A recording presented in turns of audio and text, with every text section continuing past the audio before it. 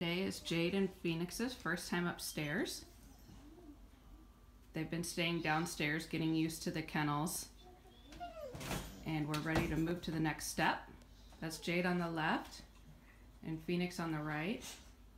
They're doing really, really well. Zeffy setting a good example and so is Luna. Say hi, Ava. Hi. and Mr. Hawk.